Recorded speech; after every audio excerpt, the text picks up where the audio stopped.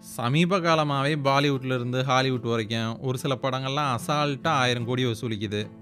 Baahubali, Baahubali two triple R Pathaan, Jawan போன்ற படங்கள்லாம் அசால்ட்டாக ஆயிரம் கோடிக்கு மேலே வசூலிச்சிச்சு ஆனால் பதினெட்டு வருஷத்துக்கு முன்னாடி வெளியான ஒரு படம் ஆயிரம் கோடி வசூல் பண்ணுச்சு அப்படின்னா அவங்களால நம்ப முடியுதா?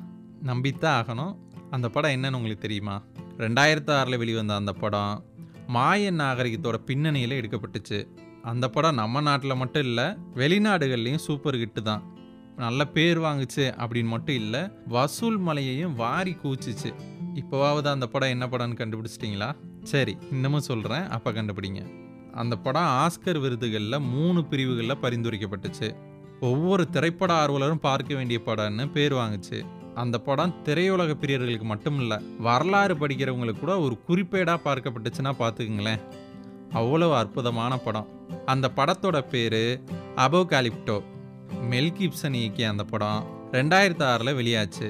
கிப்சன் 1995ல பிரேவ் ஹார்ட் அப்படின்னு ஒரு படத்தை தயாரித்தார் அந்த படத்துக்காக சிறந்த இயக்குனர், அப்புறம் சிறந்த படத்திற்கான ஆஸ்கர் விருதெல்லாம் அவர் வாங்கினாருன்னா பார்த்துக்குங்களேன்.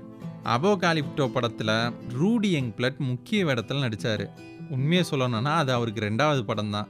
அந்த படத்துக்காக சிறந்த நடிகருக்கான முதல் அமெரிக்க கலை விருது அவருக்கு கிடைச்சிச்சு. அப்போ எப்படி நடிச்சிருப்பாரு? கொஞ்சம் யோசிச்சு பாருங்க. ரெண்டாயிரத்து ஆறு டிசம்பரில் வெளியான அந்த ஹாலிவுட் படம் அடர்ந்த காடுகளில் படமாக்கப்பட்டுச்சு. ஆட்சியாளர்கள் மக்களை ஒடுக்கிய மாய நாகரிக காலத்திற்கு அந்த படம் நம்மளை கூட்டிட்டு போச்சு. நம்மளை ஆள்றவங்க பேய்களாக மாறினா மக்கள் எவ்வளவு நரகத்தை அனுபவிப்பாங்க அப்படின்றத அந்த படம் தெளிவாக எடுத்து காட்டுச்சு. பழங்குடியினர் ஒரு குறிப்பிட்ட சாராரை பலியிட கூட்டிட்டு வரும்போது கோட்டையிலிருந்து ஒரு வீரன் தப்பிக்கிறான். அவனை பிடிக்க வீரர்கள்லாம் காட்டுக்கு போறாங்க. அவங்களோட அம்புகளால கொல்லப்படாம அவன் பலமுறை தப்பிக்கிறான். இறுதியா எல்லா வீரர்களையும் கொன்று தன்னோட குடும்பத்தை காப்பாத்துறான். இதுதான் படத்தோட கதை. அபோகாலிப்டோ படத்தோட பட்ஜெட் என்னமோ வெறும் 40 மில்லியன் டாலர் தான். அதாவது இப்போ கணக்கு வச்சு பார்த்தா ஒரு 334 கோடி இருக்குங்க. அந்த படம் சூப்பர் ஹிட் ஆனதால் கிட்டத்தட்ட 121 மில்லியன் டாலர்களை வசூலிச்சுச்சு. அதாவது இப்போ கணக்கு வச்சு பார்த்தா கிட்டத்தட்ட ஆயிரம் கோடி ரூபாய்க்கு மேலே இப்போ கூட அந்த படத்தை அமேசான் ப்ரைமில் நீங்கள் பார்க்கலாம். எல்லோரும் பார்க்க வேண்டிய ஒரு முக்கியமான படம்.